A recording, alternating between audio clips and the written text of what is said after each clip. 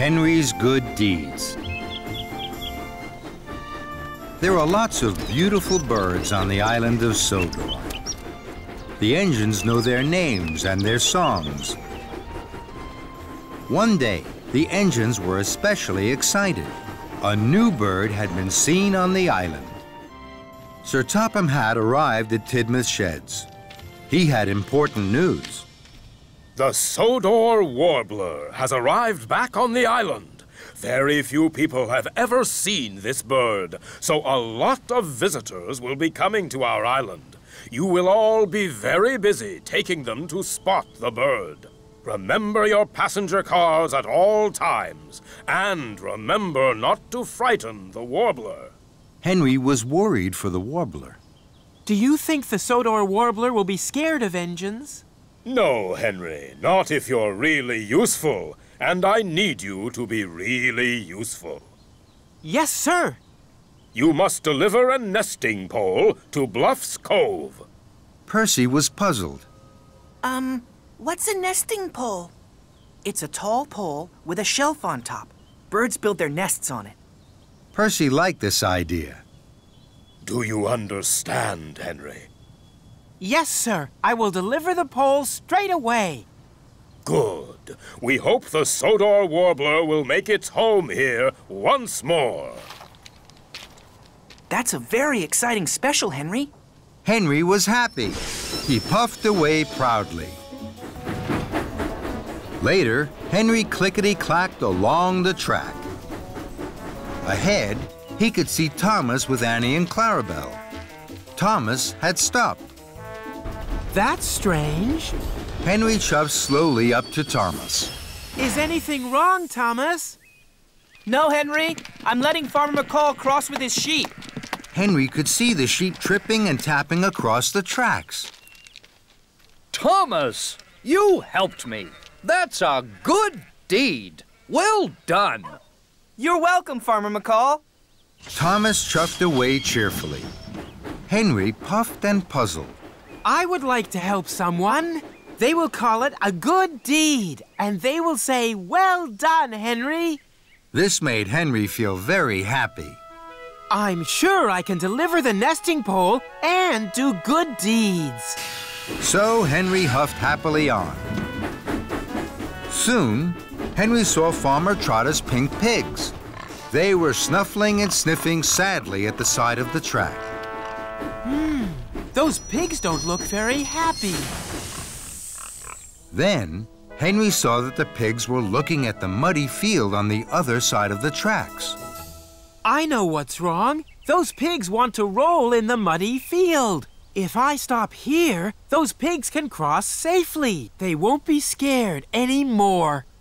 So, Henry stopped, and the pigs tripped and trotted across the tracks. Soon, the pigs weren't pink anymore. They were brown, muddy, and very happy. Farmer Trotter wasn't happy at all. I wanted pink pigs to take to the county fair.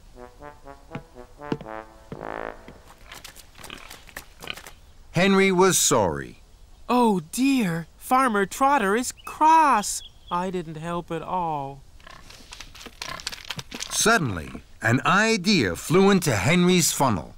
I'll reverse back down the track. Then the pigs will have more room to cross. Henry pumped his pistons. His wheels whirred. He puffed steam and he chuffed backwards. This should help, Farmer Trotter. But it didn't help.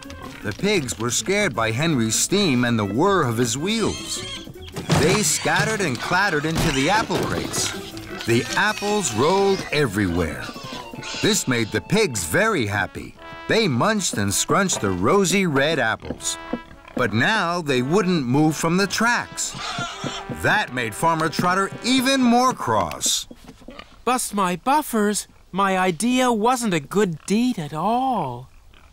Just then, Thomas puffed up on the down line. Annie and Clarabelle were full of visitors to see the Sodor Warbler. Cinders and ashes. How am I going to puff through? The Sodor Warbler has been spotted in the Fenland fields. I'm in a hurry. I'm sorry, Thomas. I was trying to help Farmer Trotter.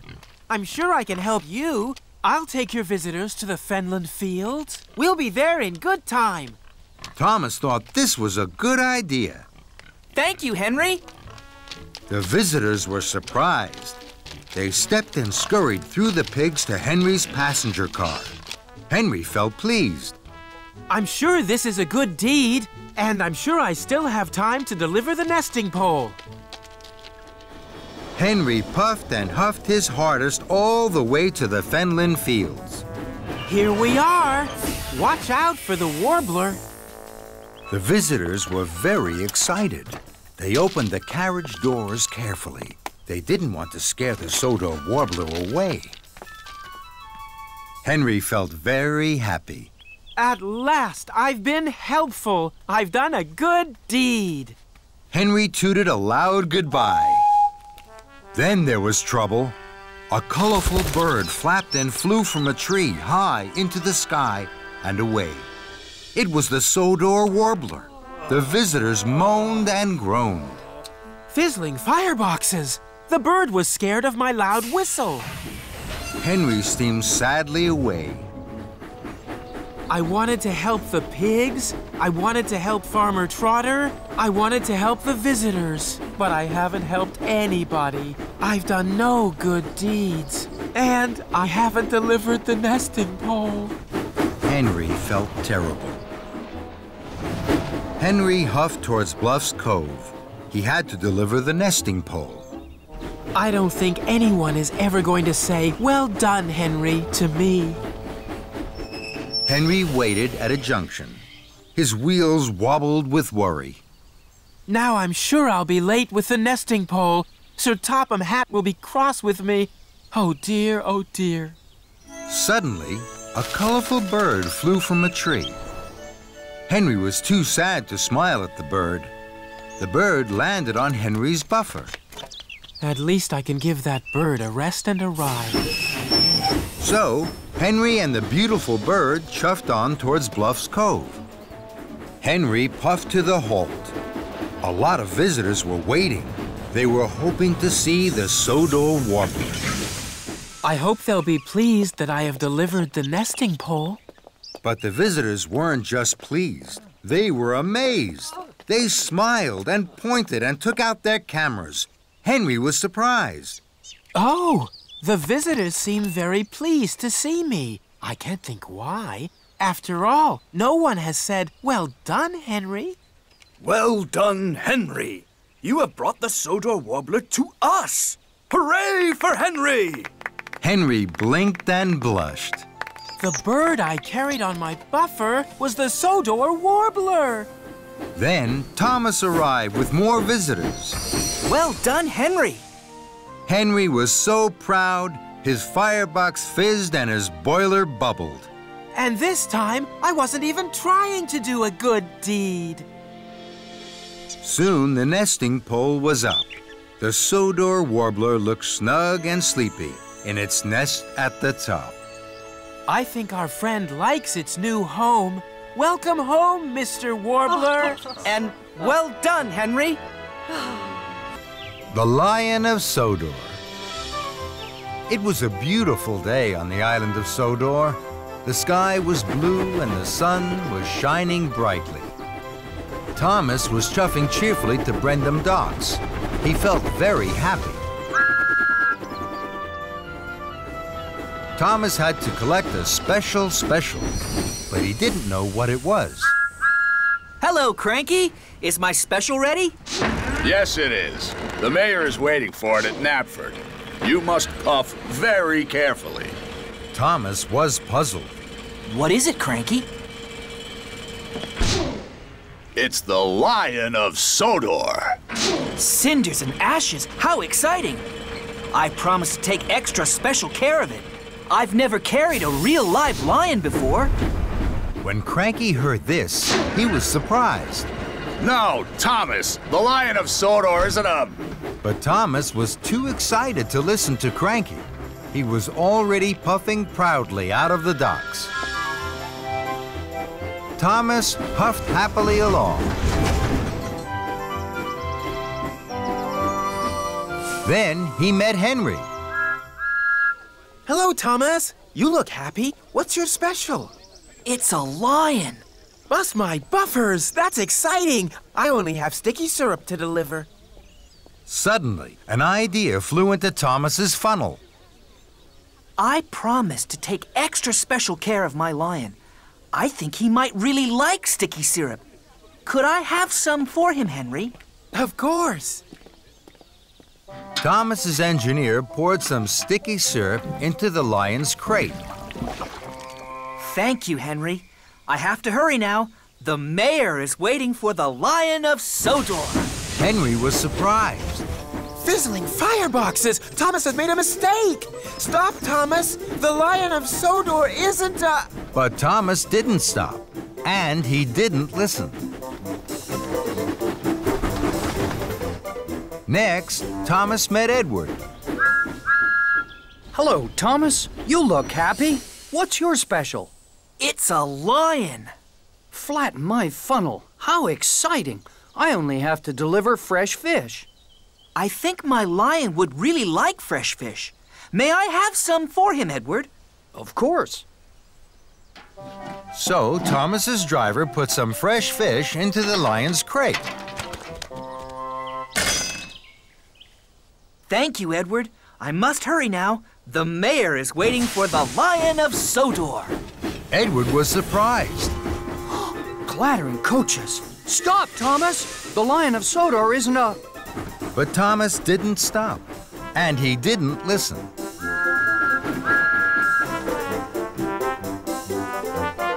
Then Thomas saw Toby. Hello, Thomas. You look happy. What's your special? It's a lion. Buff, my boiler, how exciting! I only have straw in my freight cars. I'm sure my lion would really like some soft straw to lie on. May I have some for him, Toby? Of course. So Thomas's driver put some soft straw into the lion's crate. Thank you, Toby. I really have to hurry. The mayor will be waiting for the Lion of Sodor. Toby was surprised. Uh oh, trembling trucks. Stop, Thomas! The Lion of Sodor isn't a. But Thomas didn't stop, and he didn't listen. Thomas's pistons pumped and his wheels whirred. He couldn't wait to deliver his lion. He chuffed his hardest and raced on towards Knapford Station. At last, Thomas puffed proudly into Knapford. Sir Topham Hatt was there. So were the other engines. I'm very excited, Thomas. This is a big day. The Lion of Sodor is here. Thomas was uncoupled from the flatbed, and he pulled away to join the other engines. The workmen carefully opened the lion's crate.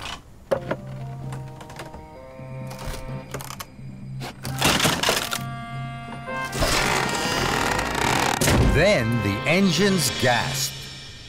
The Lion of Sodor wasn't a real lion at all. It was a statue. And now it was covered in sticky syrup, fresh fish, and straw. Sir Topham Hatt was cross. Thomas, this is a terrible mess. Gordon and James laughed, and Thomas felt very silly. I'm sorry. I thought I had a real lion in my crate. I wanted to take extra special care of it. I didn't know the Lion of Sodor was a statue. So Sir Topham Hatt told Thomas all about the Lion of Sodor, and the other engines listened carefully. So you see, Thomas, it was the most famous statue on Sodor. Then it broke. This is the shiny new statue we have been waiting for. The mayor is coming at tea time, and now look at it. I'll make sure it's clean, sir. I promise the Lion of Sodor will be shiny and new again in no time. Very well, Thomas. Thomas still felt very silly. Cheer up, Thomas. I didn't know the Lion of Sodor was a statue either.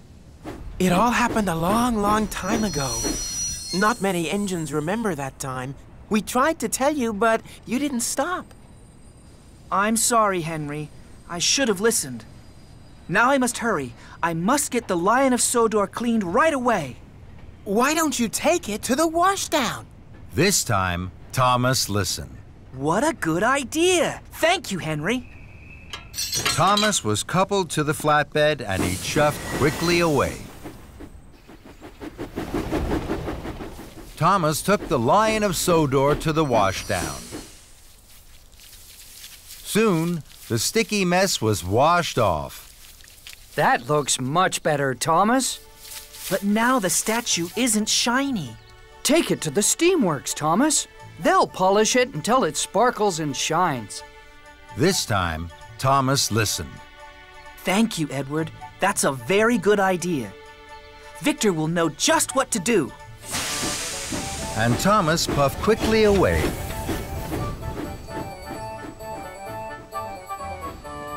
Thomas took the Lion of Sodor to the steamworks. Workmen polished the statue until it shined and sparkled, just as Edward had said. The Lion of Sodor looks much better now, Thomas. But it's nearly tea time. The mayor will soon be at Knapford, and it's a long way. Take the track by the windmill. That'll get you there in time. This time, Thomas listened. Thank you, Toby. That's a good idea. Thomas took the shortcut past the windmill. He huffed and puffed as fast as his pistons could pump towards Knapford. Children cheered and passengers waved as Thomas chuffed by. Everyone wanted to see the Lion of Sodor, and everyone wanted Thomas to stop. I can't stop now. I mustn't be late. The mayor will be at Knapford, and he won't wait. And Thomas whooshed on his way. Thomas puffed proudly into Knapford Station. The mayor had just arrived. He was delighted to see the new Lion of Sodor. The statue shined and sparkled in the sun. Well done, Thomas. This is the finest statue I've ever seen. And the cleanest! Everyone cheered. And Thomas smiled from footplate to fender. Splish, splash, splosh. It had been raining and pouring on the island of Sodor. The engines were splattered and sploshed with mud. Thomas liked the rain. It splish splashed on his boiler and pitter pattered on his paintwork. Thomas and Rosie had biffed and bashed all day at the shunting yards. Now it was time to go. Come on, Rosie. I'll race you to Tidmouth Sheds. The two friends puffed along the tracks, straight through a very big puddle. Thomas and Rosie were splashed from footplate to fender in muddy rainwater. That was fun. Then, an idea flew into Thomas's funnel. Thomas reversed slowly. Then he pumped his pistons. Here I come, Rosie. Splish, splash, splosh. That's a good game. Here I come, Thomas. Splish, splash, splash.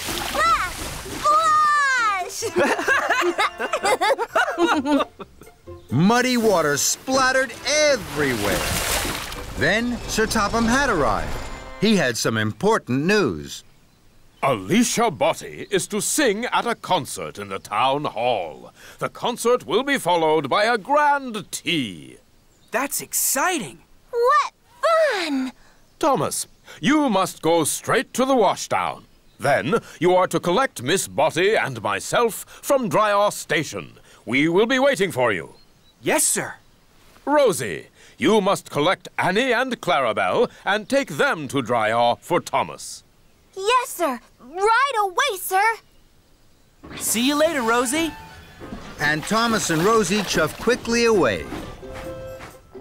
Thomas pulled up at the junction to the washdown. He saw a very big puddle on the other track. Charlie was waiting right by it. He was very muddy. Splashing Rosie was such good fun. I'm sure Charlie would like my game too. And I'm sure I have time for another puddle before the washdown. So, Thomas didn't take the track to the washdown. He took the track through the middle of the very big puddle. Here I come, Charlie! Splish, splash, splosh! Bust my buffers! That's a good game! Thomas huffed happily on. Hooray! This is fun. Now, Thomas wanted to find more puddles. He couldn't wait to play his game with other engines. At the next junction, Thomas waited to chuff left to the washdown. Then he saw a very big puddle on the right track. Emily was waiting. Emily's muddy already. I'm sure she'd like my game, and I'm sure I have time for another puddle before the washdown. Here I come, Emily! Splish, splash, splosh! Muddy rainwater had splooshed all over Emily and all over Emily's flour cars. Fizzling fireboxes! I have to take this flour to the bakery to make the cakes for Alicia Botti's tea. Now Thomas has ruined it. Thomas didn't know he had splashed Emily's flour cars. This is fun. Splish, splash, splosh. I'll soon need a wash. And Thomas chuffed on, chuckling. At the next junction, Thomas waited to chuff to the washdown. Then he saw a very big puddle right beside James. James is muddy already. I'm sure he'd like my game, and I'm sure I have time for just one more puddle before the washdown. Here I come, James! Splish, splash, splosh! and Thomas steamed away laughing. Muddy rainwater had splooshed all over James and all over the ripe strawberries on his flatbed. Blistering boilers! These strawberries were for Alicia Botti's cakes! Now they're ruined. Thomas didn't know he had splashed James's strawberries. This is fun! Splish, splash, splosh! I'll soon need a wash! And Thomas puffed on happily. Thomas chuffed up to the next junction. Now it was getting late. I know there'll be a very big puddle along the track by the river. I'm sure I have time for one last puddle before the washdown. So Thomas took the left track that went along the river. Ahead of him was a very big puddle. My! This is the biggest puddle ever! Here I come! Splish, splash, splash! Then there was trouble. Muddy water flew high into the air and splooshed down all over Alicia Botti and Sir Topham Hatt. Thomas! Thomas screeched to a stop and reversed slowly. He saw that he had splish, splash, splashed Alicia Botti and Sir Topham Hatt. Cinders and ashes! Look what you've done to Miss Botti. She's soaked. Also, Thomas, I hear from the dairy manager that you ruined the flour and strawberries for Miss Botti's grand tea. This is a disaster. Thomas felt terrible. He tried to puff forward, but he couldn't. Oh, no. The big puddle had put out his firebox. This game isn't fun anymore. It's all gone wrong. Then, Thomas heard Rosie's whistle. Rosie, please help me. I've splish splash sploshed into trouble. Oh, dear, Thomas. Of course I will. Don't worry.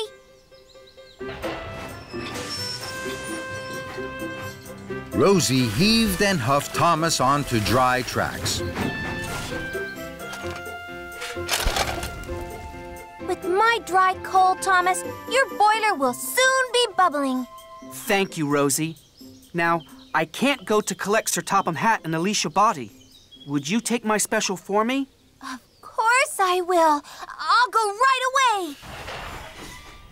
Later, Thomas was once more steaming happily. He pulled up at a junction. There was a very big puddle on the right track. Look at that big puddle. It's perfect for splish, splash, sploshing. No, I'm not going to splish, splash, splosh anymore. I must make sure that Alicia Botti's grand tea is on time. And Thomas puffed along the left track to the bakery and away from the big puddle. Thomas arrived just as James and Emily had delivered fresh strawberries and flour to the bakery. Your silly game means we'll be late for the concert. No, you won't. I'll wait here for the cakes. Then I'll deliver them. You can go to the washdown, then you'll both be clean for the concert. Thank you, Thomas. Now I'll be shiny and best, and gleam more than the rest. Thomas puffed in with the fresh strawberry cakes for the grand tea. You're just in time, Thomas. Thank you, sir. I'm sorry I caused confusion and delay. Rosie puffed up to Thomas. I found another puddle. It's perfect for our game. We can play again. No, thank you, Rosie. I think I've done enough splish, splash, sploshing for one day. Hero helps out. The engines on the island of Sodor like to be busy. They heave and haul. They huff and puff. And most of all, they like to please Sir Topham Hatt. One morning, Hero chuffed into Knapford Station. There was hustle and bustle, noise and steam. It was another busy day at Knapford. Then Sir Topham Hatt hurried onto the platform without his hat. Hero gasped. Sir, good morning, sir. I hope the day finds you well, sir. The day finds me with much too much to do, Hero. That's how the day finds me. I can see, sir.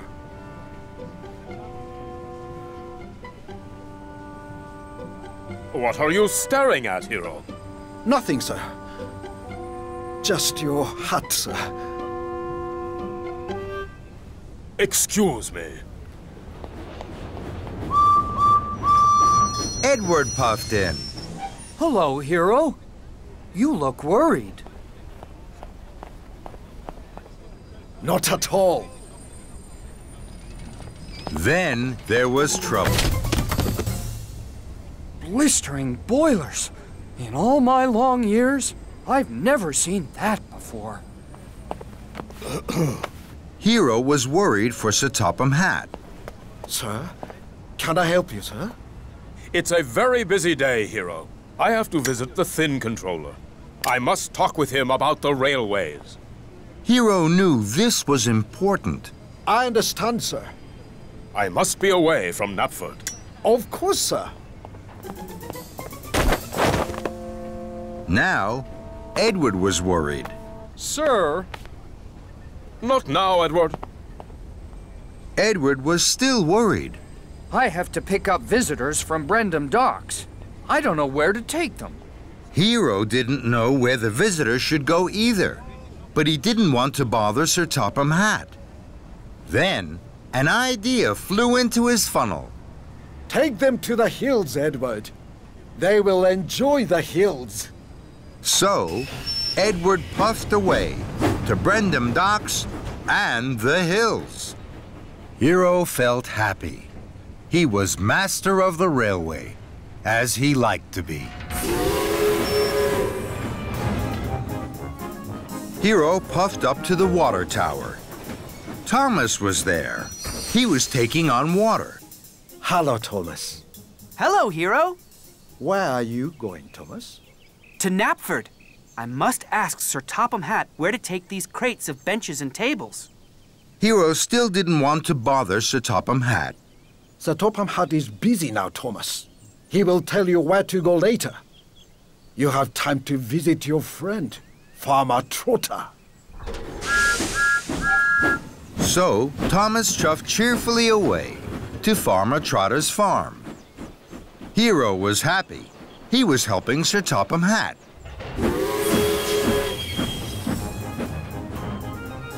Hero steamed up to a junction. Percy was there. He had a flatbed full of quacking ducks. Hello, Percy. How are you? Percy was worried. Hello, Hero. These ducks are very noisy. They want to go swimming. I have to find Sir Topham Hatt. He will tell me where I must take them for a swim. Hero still didn't want to bother Sir Topham Hatt. Sir Topham Hatt is very busy, Percy. Perhaps you could puff to the Fenland. The ducks will be happy there. Thank you, Hero. Hero was happy. Helping Sir Topham Hatt was the best job he had ever had.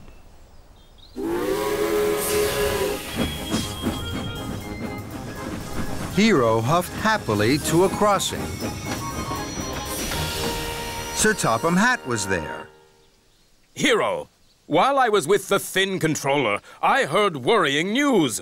Farmer McColl is waiting for his ducks. There are no tables or benches for the concert at tea time, and Edward is late for a concert at the town hall. Hero gasped. Sir Topham Hatt was cross. Sir Topham Hatt was cross with him, and it was all his fault.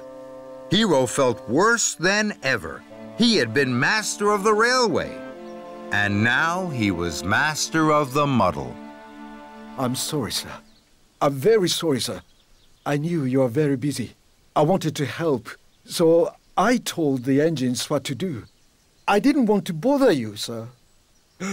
Sir Topham Hatt gasped. You didn't want to bother me. I am controller of the railway. Nothing is more important to me than my engines being really useful. Hero gulped. I know that now, sir. I'm not master of the railway. I'm master of the muddle. I can put this right. Please give me time. And Hero wished quickly away. Hero found Edward in the hills. Hello, Hero. My visitors are very happy. Good, Edward. But now, you must take the visitors to Knapford Station. Sir Topham Hatt will give you your orders. I thought we weren't to bother Sir Topham Hatt, Hero. I was wrong, Edward. Sir Topham Hatt didn't want that at all.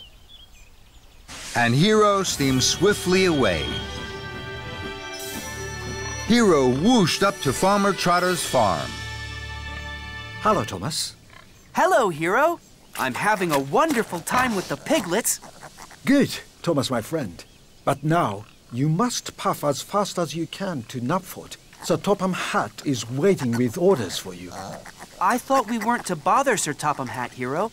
I was wrong, Thomas. Sir Topham Hatt didn't want that at all. Bye, Hero.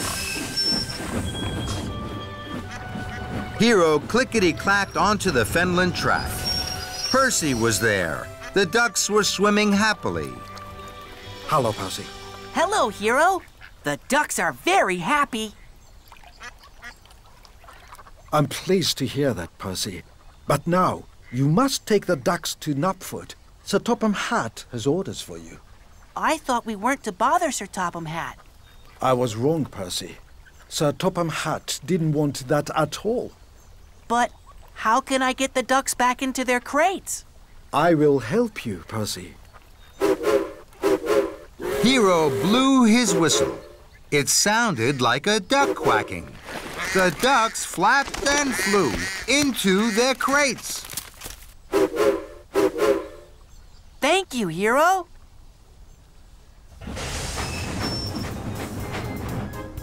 Later, Sir Topham Hatt had given his orders to the engines. Now, you all know what you have to do. Chuff away and be really useful. Hero puffed forward. And what shall I do, sir? You, Hero, will do what you have always done. You will be helpful, Hero. Helping me. And nothing could have made Hero happier. Creaky cranky. It was the spring holiday on Sodor. There was to be a party for the children at the Duke and Duchess's new summer house. All the engines were very excited and very busy. Thomas chuffed cheerfully into the docks. James and Henry were passing through. Good morning, James. Good morning, Henry. Where are you puffing to? I'm taking these straw bales to the summer house for the children to climb on. I'm taking wood to make a stage for the children's show and barrels of lemonade to drink. How wonderful. I'll see you later at the summer house.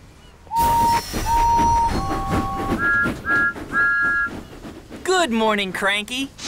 What's good about it? It's the Duke and Duchess's party day. Party smarty. I don't go to parties. I'm stuck here loading and unloading all day. I haven't had a moment to rest my hook. That load is for me. It's eggs for the children to paint. Hurry up, Cranky. You're creaky, Cranky. What's the matter? Are the eggs too heavy a load for you? Cranky didn't like Thomas's joke. He didn't like being called creaky.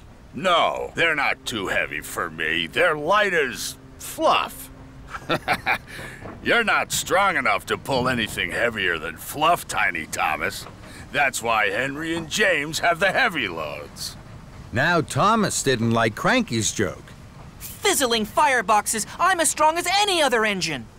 You're not as strong as me. I can lift much heavier loads than you could ever pull. Thomas really didn't like that. We'll see, Cranky. I have lots of time to deliver the eggs. First, I have to prove Cranky wrong. James has a heavy load. I'll go and find James. So Thomas steamed sternly out of the docks. Thomas found James at the junction by the washdown. Hello, James. I don't have a lot of jobs today. Shall I deliver your heavy load of wooden barrels for you? You can stay here at the washdown. Then you'll be perfectly polished for the party. James thought this was a very good idea. Thank you, Thomas. So James was uncoupled from the heavy flatbed of wood, and Thomas was coupled up. The flatbed was heavy. Huffing and puffing, Thomas set off for the docks. Thomas chuffed back into the docks. You again. What are you doing with that wood? This flatbed is very heavy. I'm sure you can't lift it. Cranky looked at the flatbed of wood and barrels. I'm sure I can. Cranky's hook swung low over the wood. Thomas watched and waited. With a creak and a crank, and a crank and a creak, Cranky raised the flatbed into the air. Thomas's boiler buzzed. Told you so. You're still creaky, Cranky. And you're still Tiny Thomas. That made Thomas very cross. I will prove Cranky wrong and still have time to deliver the eggs. I'm sure Henry had an even heavier load. I'll go and find Henry. So Thomas steamed stormily away. Thomas found Henry waiting by the coal hopper for his special coal. Hello, Henry. I don't have a lot of jobs today. Shall I deliver your heavy load of straw bales for you? Then you can wait here for your special coal. Henry thought this was a very good idea. Thank you, Thomas. So, Henry was uncoupled from the heavy flatbed of straw bales, and Thomas was coupled up. The flatbed was very heavy. Huffing and puffing, Thomas set off once more for the docks. Soon, Thomas puffed back into the docks. You again. Now, what are you doing with those straw bales? This flatbed is very, very heavy. I'm sure you can't lift this. Cranky looked at the flatbed of straw bales. I'm sure I can. Cranky's hook swung low over the straw. Thomas watched and waited. With a creak and a crank, and a crank and a creak, Cranky raised the flatbed of straw into the air. Thomas's funnel fizzed. Told you so. You're still creaky, Cranky. And you're still Tiny Thomas. That made Thomas even crosser. More than ever, Thomas wanted to prove Creaky Cranky wrong. He had to find the heaviest thing he could. Then, an idea flew into his funnel. Lift me, Cranky. Cranky looked at Thomas. He couldn't let Thomas win. Cranky's hook swung low over Thomas. Thomas hardly dared puff. With a creak and a crank, and a crank and a creak, and very, very slowly, Cranky raised Thomas high into the air. Bubbling boilers! Creaky Cranky is lifting me! Then there was trouble. Cranky creaked louder than ever. His crane arm stuttered and juddered. It creaked and it croaked. Then it cracked. Oh, no. Cranky's crane arm had broken, and it was all Thomas's fault. Thomas was stuck high in the sky and blowing in the breeze. Then Sir Topham Hatt arrived. Thomas, what are you doing up there? I'm sorry, sir. I was. You are causing confusion and delay. The Duke and Duchess have no wood, straw bales, or eggs. Now I see you have them all here. Cranky is broken, and you, Thomas, think it's a good time to try being a bird. The Duke and Duchess are waiting. Thomas felt very silly. Then Sir Topham Hatt looked at Cranky. And you're as silly as Thomas. Cranky crumpled. The shame to be as silly as a steamy. Soon, a workman had climbed up Cranky. Slowly and carefully, Thomas was lowered and landed with a jolt and a judder. Just as Spencer arrived. Dear, oh dear, Thomas, what a mess. Little engines can get into very big trouble. Thomas felt even sillier in front of Spencer, but he knew now that being strong was only good if you were also really useful. And he had to be really useful. Spencer, I need your help. You're very strong and can pull much heavier loads than me. Will you take the wood, the straw bales, and the eggs to the summer house for me, please? It's my fault that Cranky is broken. I must put everything right as quickly as I can. Hmm. Very well. Thank you. I'm sorry, Cranky. I know you're strong, stronger than me. I'll be back soon with the right parts to fix you. Then Thomas pumped his pistons and puffed out of the docks. Thomas wheeshed like the wind all the way to the steamworks. Hello, Victor. Cranky creaked, and now he's cracked. He needs new parts. You've come to the right place, my friend. Parts aplenty here. We'll have Cranky up and lifting in no time. Soon, Thomas's flatbed was loaded with new parts for Cranky. Thank you, Victor. Of course, my friend. Give Cranky my best. And Thomas puffed happily away. Thomas puffed into the docks with his heavy flatbed. Cranky was still looking crumpled. Here you are, Cranky. We'll have you fixed in no time. Thank you, Thomas. That's a heavy flatbed. You know, you're not tiny. And you're not creaky. Cranky laughed, and that made Thomas laugh too. Steamy Sodor. All the engines on Sodor like to be really useful. They huff and they puff to do their best for Sir Topham Hatt's railway. And sometimes that means doing a job they have never done before. One morning, Sir Topham Hatt had a new job for Thomas. Victor has to go to the transfer yards. He has to see one of the little engines. He will be away all day. You must look after the steamworks, Thomas. Victor will tell you all you need to know. Make sure you listen carefully. Yes, sir. Thomas was excited. The Sodor Steamworks is one of my favorite places on the island. Today, I'm going to be in charge. That's a very important job, Thomas. Good luck. Thank you, Percy. And Thomas puffed proudly away to the steamworks and his new job. Victor was waiting for Thomas at the steamworks. Thomas was very excited. His boiler bubbled and his firebox fizzed. Hello, my friend. This is a big day for you. The steamworks will be very busy. Not too busy for me, Victor. I like being busy. That's good, my friend. Now, when an engine comes in, you have to listen carefully to their problem. If you need help, ask Kevin. That's right, Thomas. When you're in a fix, look no further. Just ask Kevin. It'll save you bother. Thank you, Kevin. Are you listening, Thomas? Yes, Victor. But Thomas was too excited to listen. He wanted to get on with his very important job. Don't worry, Victor. I know just what to do. Hurry, Victor. You'll be late for the little engines. Very well, my friend. Good luck. And Victor steamed away. Thomas was now in charge.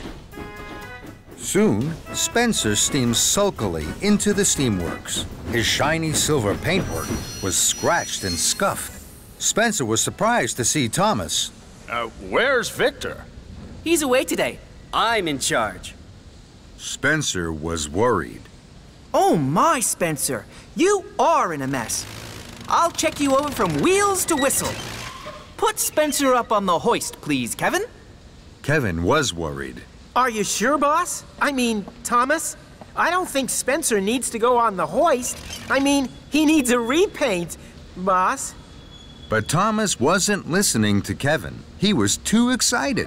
He was in charge of the steamworks. Put Spencer up on the hoist, Kevin. Over here, Spencer. Please, if you don't mind. Please. Thank you. So, Spencer huffed huffily to the hoist. Then Henry chuffed in. Henry wasn't well. He spluttered and stuttered. He wheezed and sneezed. Henry was surprised to see Thomas. What are you doing here, Thomas? Victor is away today. I'm in charge. Henry sighed. Then he wheezed. Then he sneezed. Foot plates and fenders. I know just what's wrong with you, Henry. You have been given the wrong coal. Henry gasped. No, Thomas. It's not my. but Thomas wasn't listening. Don't worry, Henry. We'll have you puffing proudly in no time. Kevin, bring over some of Henry's special coal, please. But, but what about Spencer, boss? But Thomas wasn't listening. Quick as you can, Kevin. So Kevin trundled to the coal. Spencer sat sniffly by the hoist. Henry spluttered and stuttered. And Thomas felt pleased and proud. I like being in charge of the steamworks. Then James steamed snootily in. Straw and twigs blocked his funnel. Why are you here, Thomas? Victor is away today. I'm in charge. Bubbling boilers. You are in a mess. What happened to you? I can't puff properly. I know just what you need. Kevin! Yes, boss. I mean, Thomas. James needs a new funnel. No, I don't. But Thomas wasn't listening to James. But what about Henry's coal and Spencer on the hoist? Thomas wasn't listening to Kevin. Find the spare funnel, please. Kevin was now very confused. To find the funnel, he had to put down Henry's coal. But first, he had to raise Spencer on the hoist. It was all too much for Kevin. Oh dear, boss. Uh, Thomas. Don't worry, Kevin. I'm in charge. Then there was trouble. Kevin reeled and rolled back towards the hoist. And with a biff and a bash, he hit a big green button. That made Spencer shudder into the air. Trembling tracks, what's happening? Kevin gasped. Heaving hooks! Sorry, Spencer. Then Kevin dropped Henry's coal right in front of Henry's nose. Bust my boiler and crashing coals. Kevin rocked and rolled into James. Mind my shiny red paintwork. James was so upset, he blew the biggest puff of steam he had ever blown. All over Victor. Victor had just arrived from the transfer yards. Now he was covered from buffer to buffer in twigs, soot, and straw. Victor's wheels wobbled and his steam stuttered. Sizzling sodor. What has happened to my beautiful steamworks? Thomas looked at Victor and then at the mess and the muddle. Cinders and ashes. This is all my fault. No, boss. I mean, Thomas, I'm sure it's my fault. I'm sorry, boss. I did try to say, boss. No, Kevin. It's not your fault. I didn't listen to Victor. I didn't listen to you. And I didn't listen to my friends. I was too excited and too silly. I think, my friend, you are right. What will you do now? I'm sorry to all of you. Now I'll listen to you, and I'll make sure you're all fixed properly. So, Victor and Thomas went first to Spencer. I don't need checking from wheels to whistle. I need new paint for my scuffs and scratches. This time, Thomas listened. Don't worry, Spencer. You'll be sparkling silver in no time. That made Spencer very happy. Next, Victor and Thomas talked to Henry. I have my special coal, but there's something wrong with my firebox.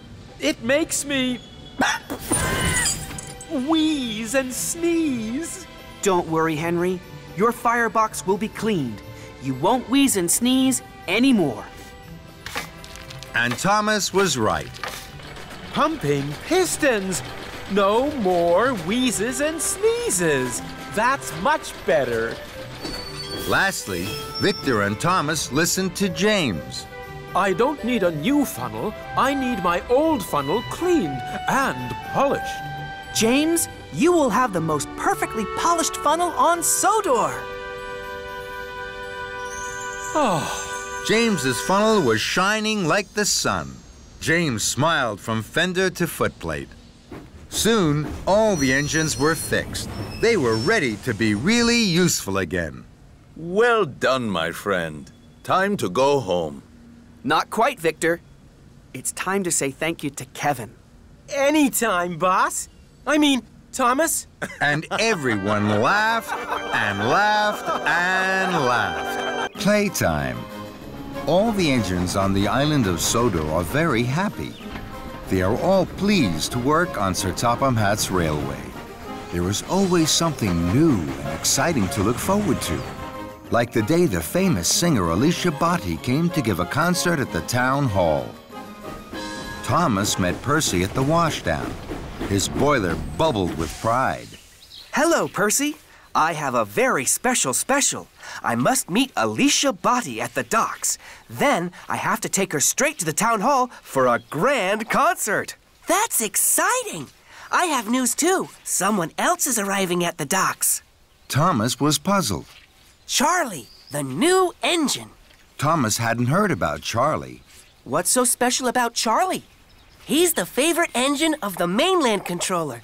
Everyone says he is the most fun engine ever. Even more fun than you, Thomas. Percy chuffed cheerfully away. Bumpers and buffers. I don't think any engine is more fun than me.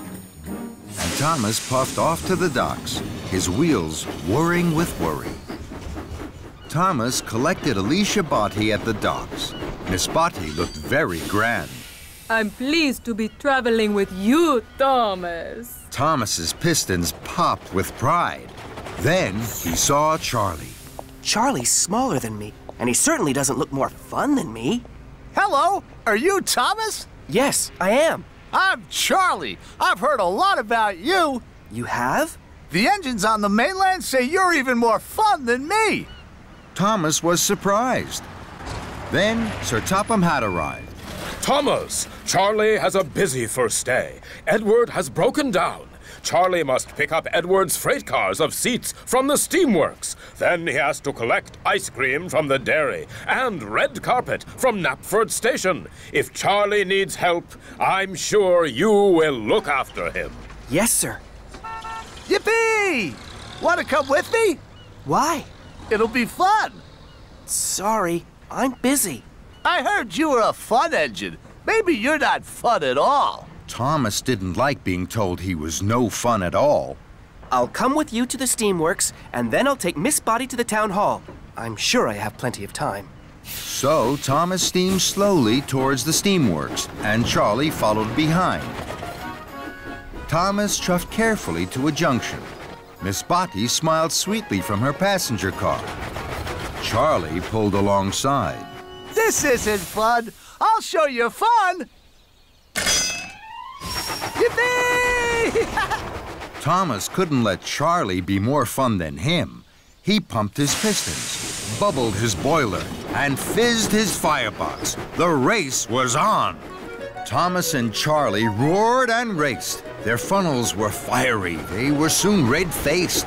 Alicia Botti could not believe her eyes. My goodness me, this is a surprise. I thought Thomas was steady and slow. What thrills and what fun on the way to my show! The engines were laughing. The race was such fun. You're quick and you're speedy, but I'm number one. With a whoosh and a wheesh, the two engines pulled into the steamworks. Steady, boys. Who is your friend, Thomas? Charlie. He's new. I'm fun. And I'm Alicia Botti. Miss Botti, it is an honor to have you visit our steamworks. Kevin. Sorry, boss. And while Charlie was coupled up to Edward's flatbed, Miss Botti sang to the steamworks.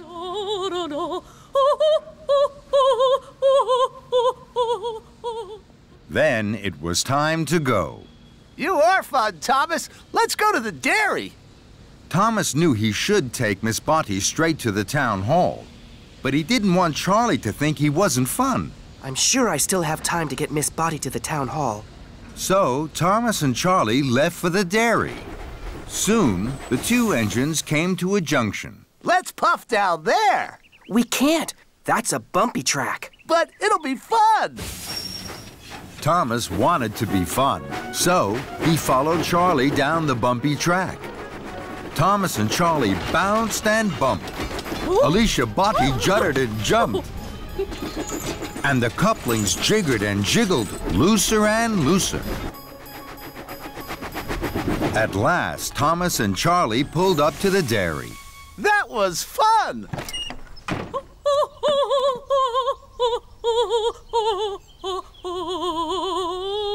And this is even more fun. We must go, Miss Botti. You mustn't be late for the concert. Bye-bye! If you were a really fun engine, you would race me to Knapford. Thomas knew he was late, but he wanted to be really fun.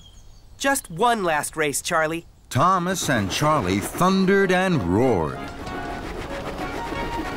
Thomas thought he had never puffed so fast. I'm first. Let's race again. Then Gordon whooshed past. He was huffing grandly. He was taking Sir Topham Hatt to the town hall. Thomas gasped. I'm late. I must wish like the wind to the town hall. Thomas pumped his pistons, and he chuffed away quickly in a cloud of steam. I mustn't be late. I mustn't be late. Then there was trouble. Thomas didn't know that his couplings had unhooked. Thomas raced on to the town hall, alone. Thomas steamed to a stop. His cheeks were redder than James's shiny coat. Here I am, sir.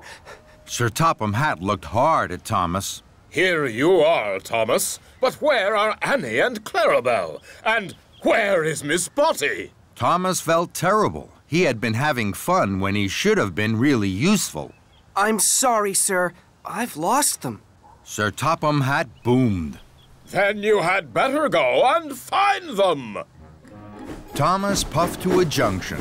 He had looked for Annie and Clarabelle, but he couldn't find them anywhere. Then Charlie chuffed up. He was on his way to the town hall. Hello, Charlie. I've lost Annie and Clarabelle and Miss Botti. The couplings must have come loose on the bumpy track and snapped when we were racing.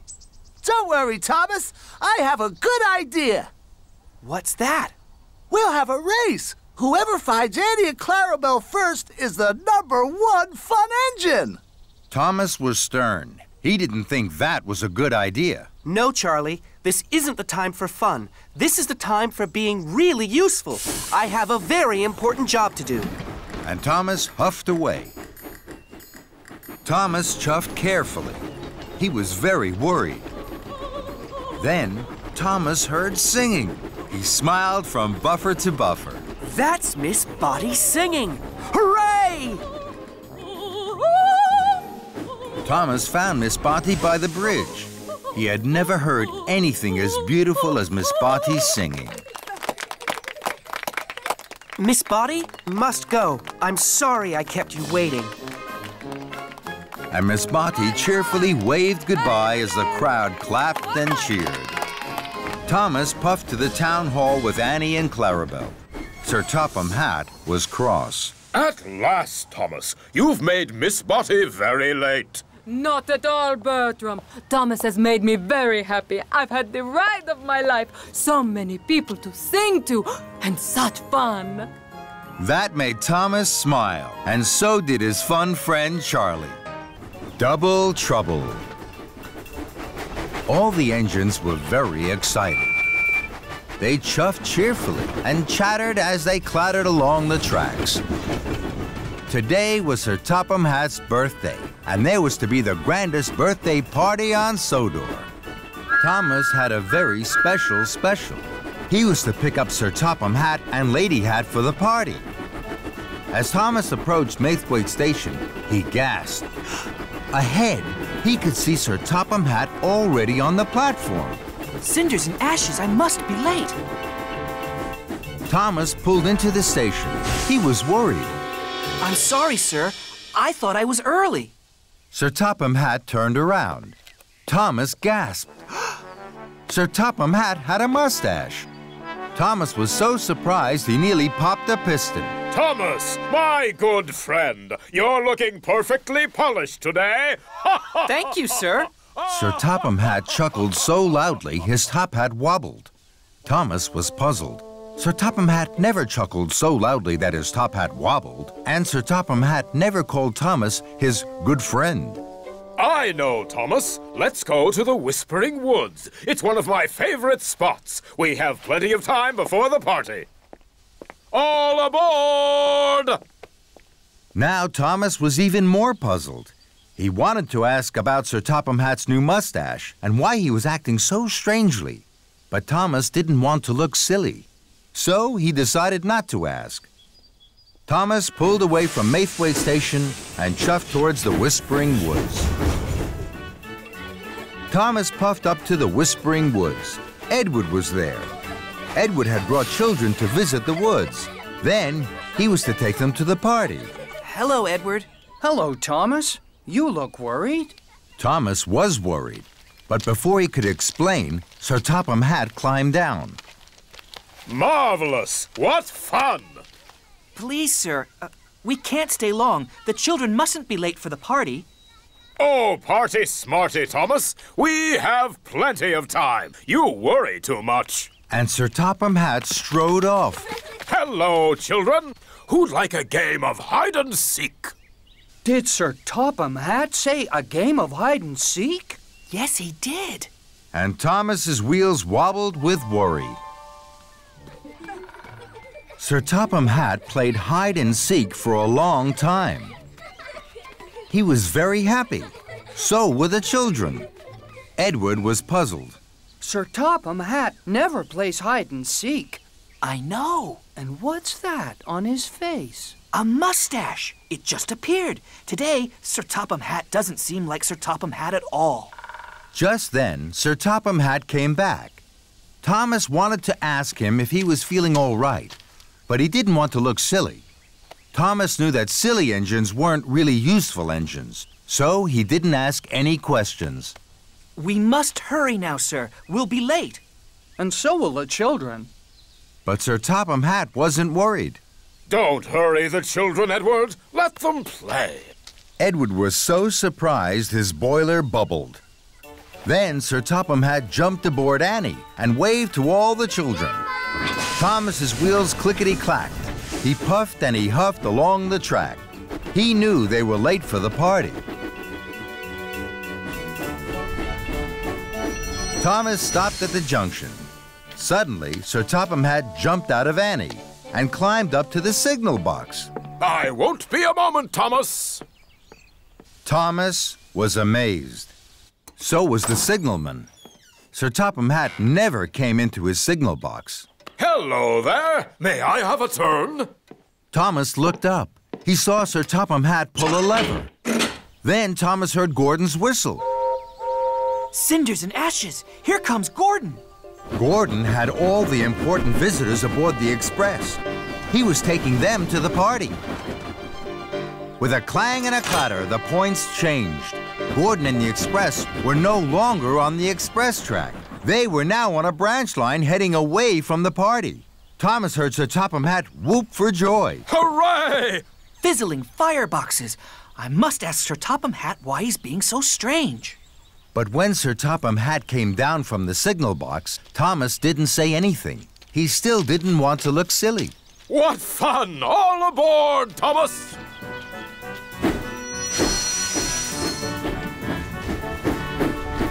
Thomas raced towards Maithwaite. Lady Hatt would be waiting.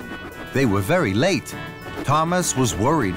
First, Sir Topham Hatt had a mustache. Next, he wanted to play hide and seek with the children. Then he sent Gordon off the express line and away from the party. Hmm. Sir Topham Hatt is acting very strangely indeed. Thomas puffed into Maithwaite.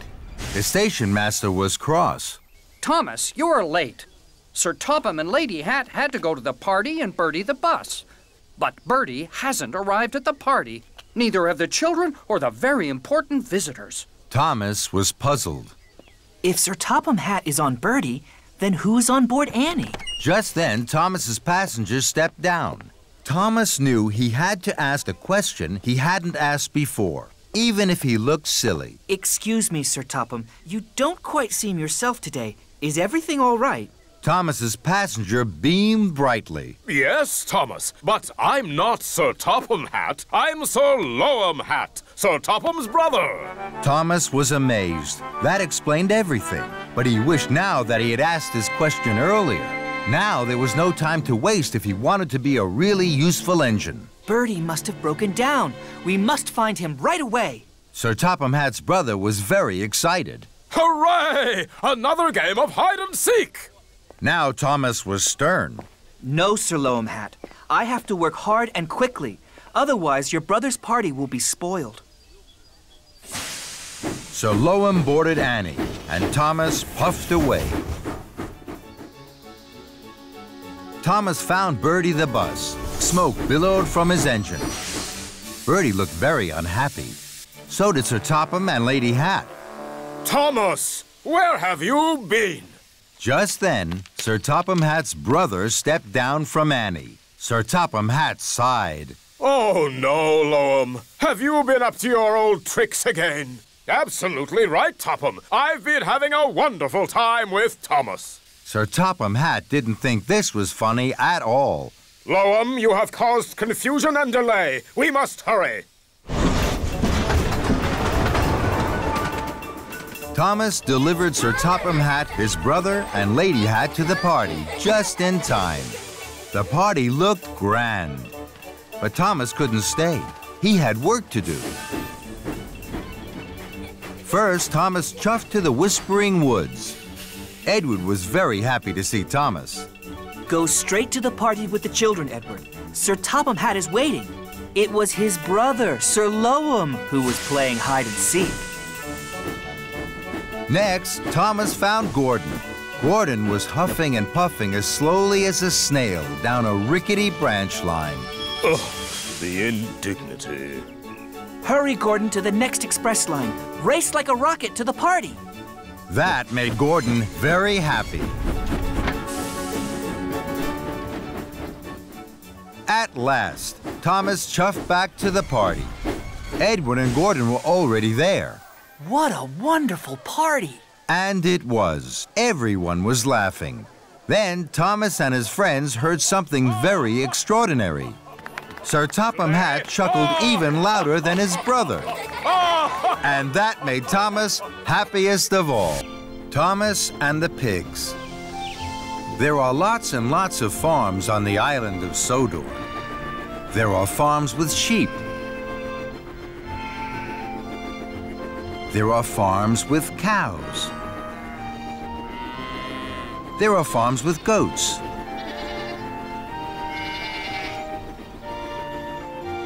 Thomas likes visiting all the farms. But his favorite farm of all was Farmer Trotter's pig farm. Thomas liked their curly tails and the funny noises they made. Thomas liked to visit Farmer Trotter's pig farm as often as he could. One day, Thomas was watching the pigs roll in the mud.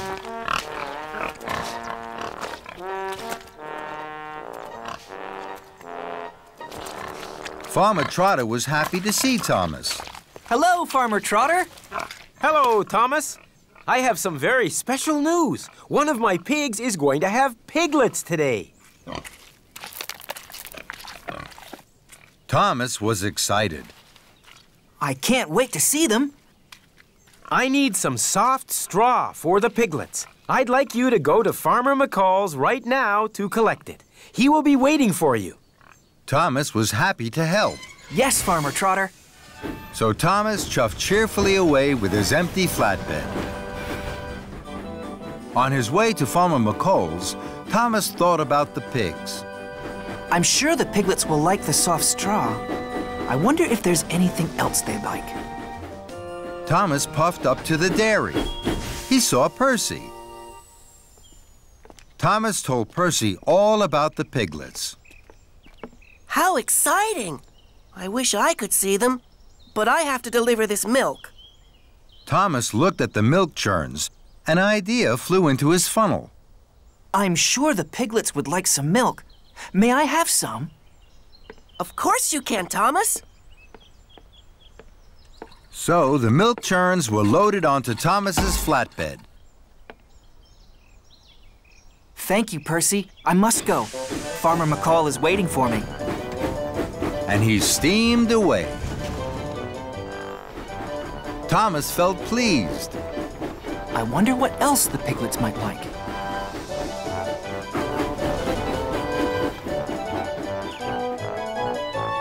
Then Thomas saw James. James was at an orchard. The trees were full of juicy red apples. Hello, James. Hello, Thomas. Thomas told James all about the piglets. The piglets will soon be born. I must collect some soft straw for them. I wish I could see the piglets, but I have to deliver these boxes of apples to the village. Thomas looked at the juicy red apples. I'm sure the piglets would like some juicy red apples. May I have some? Of course you can. So, Thomas's flatbed was loaded with lots and lots of juicy red apples. Thank you, James. I must go. Farmer McColl is waiting for me. Thomas chuffed quickly away. He felt very pleased. I wonder what else the piglets might like. Then Thomas saw some children. They were collecting shiny brown Hello, chestnuts. Thomas. Hello, Thomas. Hello. Thomas told the children all about the piglets. They were very excited. I'm sure the piglets would like some shiny brown chestnuts to eat. Please, may I have some for them? The children were delighted to give Thomas some of their shiny brown chestnuts. Thank you. I must go. Farmer McColl is waiting for me. And Thomas puffed away. He felt even more pleased. At last, Thomas chuffed to Farmer McColl's farm. Farmer McCall was waiting. He was cross. Thomas, you're late. Where have you been? I'm sorry, Farmer McColl. I stopped to collect some milk, some juicy red apples, and some shiny brown chestnuts for the piglets. Farmer McColl looked at Thomas's flatbed. He saw the milk, the juicy red apples, and shiny brown chestnuts. Your flatbed is full. You have no room for straw now. Fizzling fireboxes. I didn't think about that. I hope the piglets will like the milk, the apples, and the chestnuts just as much as straw. I must puff straight back to Farmer Trotter's. The piglets will be born soon. So Thomas pumped his pistons and chuffed quickly away. Thomas pulled up at the farm. Farmer Trotter was waiting. He looked at Thomas's full flatbed. He was surprised.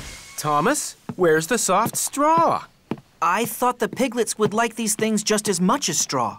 No, Thomas. Piglets need soft straw, and they're about to be born. Thomas felt very silly. I'm sorry. I'll empty my flatbed, then I'll puff back to Farmer McColl's as fast as I can.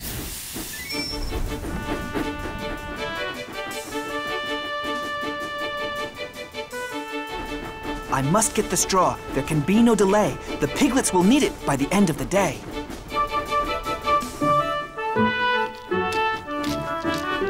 Thomas saw Percy at the water tower. Thomas, I know something else the piglets would like. I'm sorry, Percy. I can't stop. Bye, Thomas.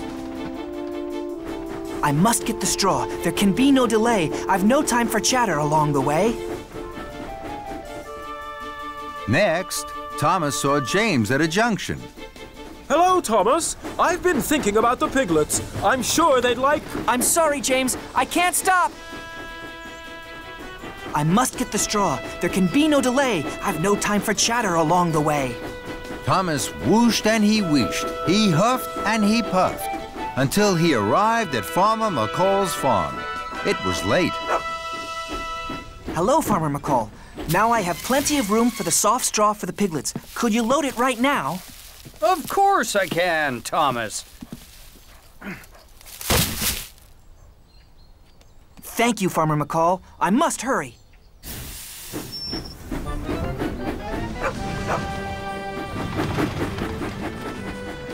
Thomas's pistons pumped and his axles ached.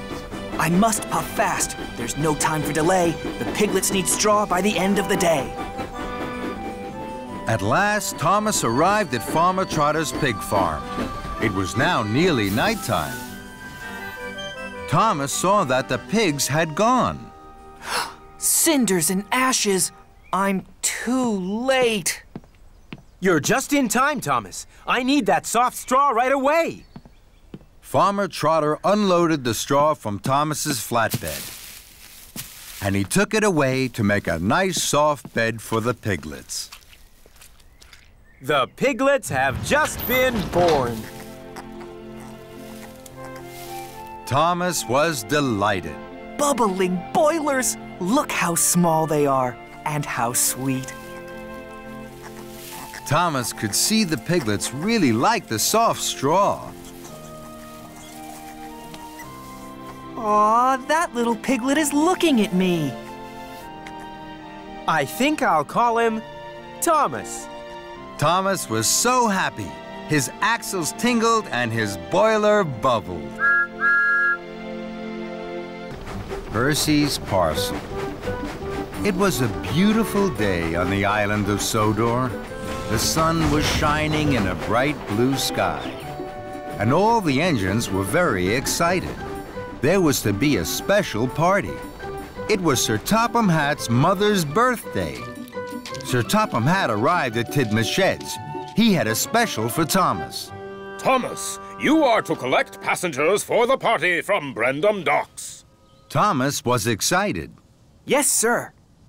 Percy hoped that Sir Topham Hatt had a special for him, but he didn't. Don't worry, Percy. I'm sure you'll have a special later. But Percy still felt sad. Mavis rolled by and stopped. She could see Percy was unhappy. What's wrong, Percy? I don't have a special. Everybody else does. Don't worry, Percy. I'm sure Sir Topham Hatt will come back with a special special just for you. And when he does, be sure to tell me all about it. Just then, Sir Topham Hatt did come back. Percy was surprised. Percy, you have the most important special of all. You must collect my mother's special birthday parcel from Brendam Docks. Then you must deliver it to the birthday party at Knapford Station. Percy beamed from buffer to buffer. Yes, sir. Thank you, sir. Percy was excited. Mavis was right. Percy puffed into Brendam Docks. He gasped. The parcel was the most special parcel he had ever seen. Percy was so proud his firebox fizzed. I must show Mavis straight away. She will be very proud of me. Thomas was at Brendam. He was pleased for his friend. Percy, you have the most important special of all. I know. I'm going to show Mavis my special special straight away. But don't you have to go to Knapford Station? Percy didn't want to listen to Thomas. I have plenty of time to puff to Knapford. First, I will show Mavis my special special. So, Percy set off for the quarry as quickly as he could puff. Percy steamed into the quarry. He looked for Mavis. Mavis was busy. Rocky was loading heavy crates onto freight cars and Mavis was shunting them. It was hard work. Hello, Mavis. Hello, Percy. Look at my special special. I'm sorry, Percy. I can't stop now. I'm too busy. Don't worry, Mavis. I'll wait. Look out, Percy! But it was too late. Oh, no! Rocky dropped his heavy load of slate. Everyone was lost in a thick black cloud of slate dust. At last, the dust cleared. Mavis, Rocky, and Percy were covered in thick gray dust, and so was Percy's special special. Percy was upset. Bubbling boilers! Look at the birthday parcel! What am I going to do? Percy thought as hard as he could. At last, an idea flew into his funnel. I'll go to the washdown. My special special will be cleaned there as good as new. Percy, shouldn't you go straight to the party at Knapford? Percy didn't want to listen to Rocky. I'll go to Knapford Station as soon as I've shown Mavis my special special. I still have plenty of time. So, Percy steamed quickly away. Percy huffed and puffed to the washdown. James was already there having a polish. My, my, Percy, whatever happened to you? Percy felt very silly. I'd like a very good wash, please. The workmen got straight to work. Water and soapy bubbles sprayed everywhere. Soon, Percy was gleaming green again. But his special special looked terrible. Bubbling boilers! The birthday parcel is wetter than wet! What am I going to do? Percy thought as quickly as he could. At last, another idea flew into his funnel. I'll take my special special to the Sodor Steamworks. Victor will help me. His hot air blowers will dry the birthday parcel. Percy, shouldn't you go straight to the party at Knapford? Percy didn't want to listen to James. I'll go to Knapford Station as soon as I've shown Mavis my special special. I'm sure I still have plenty of time. And Percy chuffed quickly away. Percy raced like the wind to the steamworks. Percy looked for Victor at the steamworks. He couldn't find him anywhere. But he did find a workman. I'd like to be dried as quickly as you can, please. The workman was happy to help. Hot air whooshed and whirred all over Percy and all over his special special. Soon the workman had finished. Percy felt very pleased until he saw the birthday parcel. Wobbling wheels! It's all crinkled and crumpled. What am I going to do? Percy thought as hard as he could, but this time, no ideas flew into his funnel at all. So Percy steamed sadly away.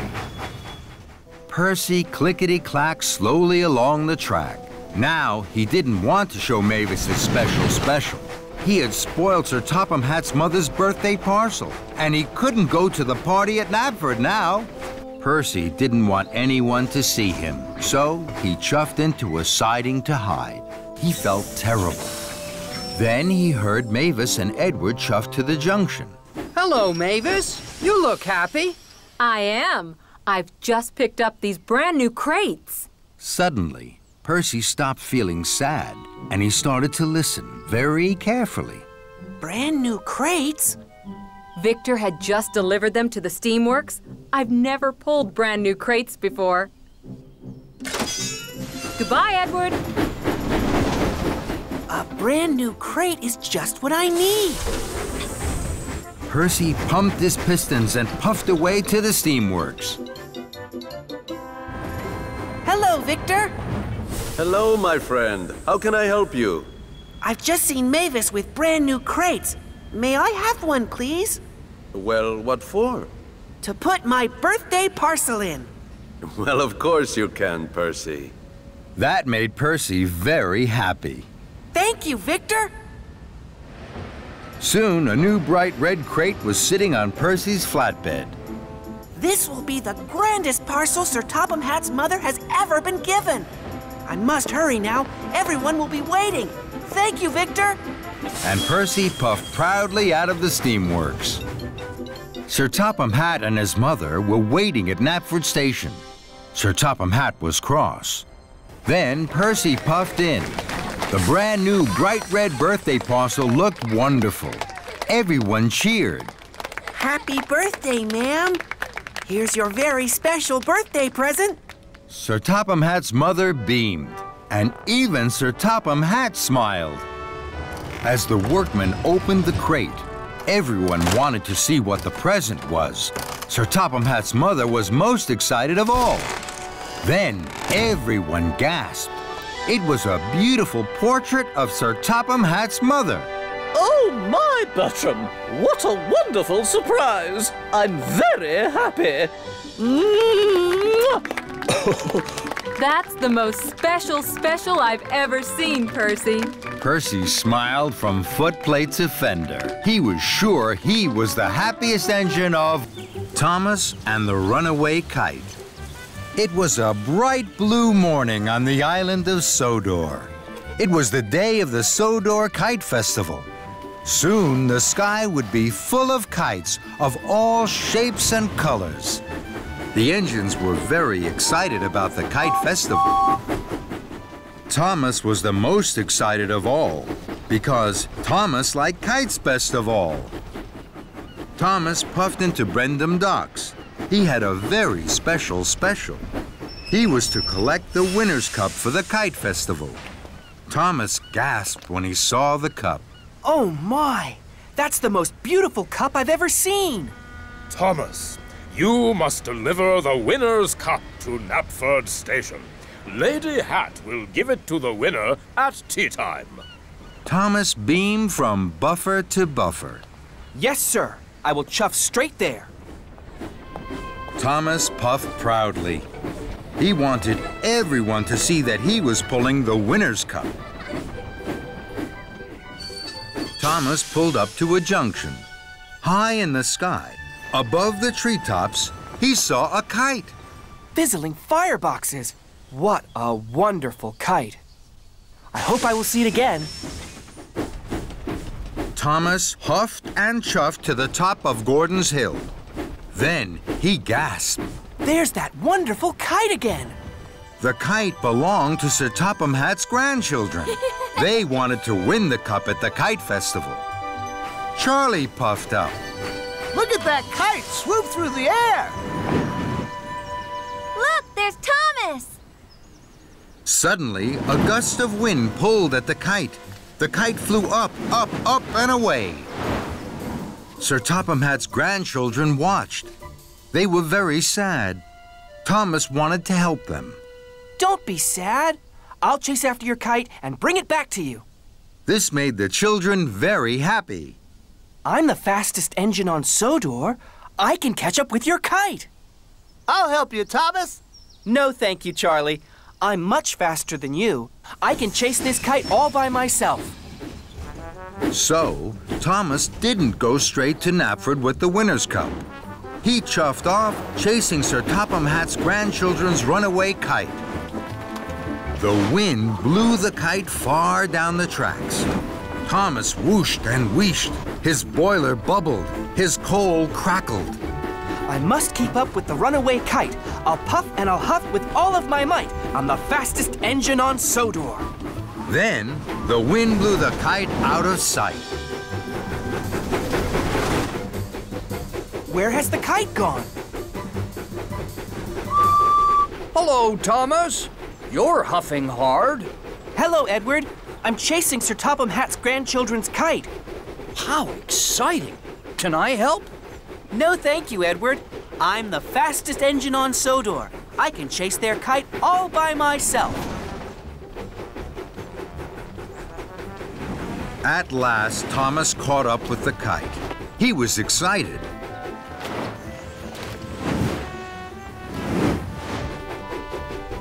Then, the wind blew the kite another way.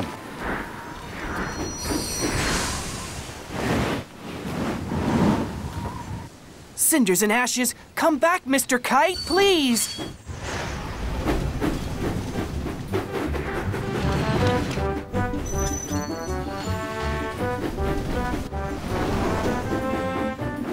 Thomas chased and raced. I must keep up with the runaway kite. I'll puff and I'll huff with all of my might. I'm the fastest engine on Sodor. Then, the wind blew the kite up over the bridge. Emily was on the bridge. She saw the kite. She was surprised. Hello, Thomas. Are you chasing that kite? Yes, Emily. It is blown away from Sir Topham Hatt's grandchildren. I've promised I'll catch it. Can I help? No, thank you, Emily. I'm the fastest engine on Sodor. I can chase it all by myself. And Thomas whooshed on under the bridge. Thomas clattered and clacked. I must keep up with the runaway kite. I'll puff and I'll huff with all of my might. I'm the fastest engine on Sodor. What's wrong, Thomas? Your cheeks are as red as James's boiler. I'm chasing that kite. Let me help. I can chase it with you. No, thank you. I can chase this kite all by myself. I'm the fastest engine on Sodor. So, Percy chuffed off, and Thomas puffed on. At last, the wind dropped. The kite landed in front of Thomas near a junction. Thomas was pleased. Bubbling boilers, I've caught up with you now, Mr. Kite. Thomas whooshed across the junction towards the kite. Then there was trouble. Thomas started juddering and jittering. The flame in Thomas's firebox flickered and fizzled out. Thomas had burned all his coal chasing the runaway kite. Oh my! Oh no! I've run out of coal! Then the wind blew again. The kite flew high in the sky and was gone. I can't puff anymore. I can't chase the kite. I'm not the fastest engine on Sodor. I've broken my promise to the children, and I haven't delivered the winner's cup to Knapford Station. Thomas felt terrible. It's all my fault. Suddenly, Thomas heard an engine chuffing around the corner. It was Charlie. What's wrong, Thomas? I ran out of coal trying to chase the kite. I thought you were the fastest engine on Sodor. I'm not. I was silly to think I could catch the kite on my own. Will you help me, Charlie? Of course I will, Thomas. Charlie gave Thomas some of his coal. Soon, Thomas's firebox was burning brightly. Thank you, Charlie. I'm late. I must deliver the winner's cup to Knapford Station. Can you look for the kite, please? With all my huff and chuff, Thomas. So, Thomas puffed to Knapford with the winner's cup. On his way to Knapford, Thomas stopped at a junction. Percy, Emily, and Edward were waiting. You look sad, Thomas. I didn't catch Sir Topham Hatt's grandchildren's kite. Will you all help me? Of course we will, Thomas. Right away. With no delay. Thomas's friends were happy to help him. and Thomas was happy to be helped. Thomas arrived at Knapford Station with the winner's cup. Sir Topham Hatt's grandchildren raced over. Hi, Thomas. They hoped Thomas had found their kite. I haven't found your kite, but all my friends are looking for it now. Come with me. So the children climbed cheerfully on board. Thomas puffed to a junction. Suddenly, the kite flew in front of Thomas. There's the kite. Emily, Percy, Edward, and Charlie chuffed to the junction. The kite danced between them. Then it caught its tail on the signal. Hooray! We've caught the kite! The engines tooted, the children cheered. With the help of my friends, we caught the kite. And later that day, at the Kite Festival, Sir Topham Hatt's grandchildren's kite danced best of all, as the wind blew it high up in the sky. And Thomas smiled and smiled.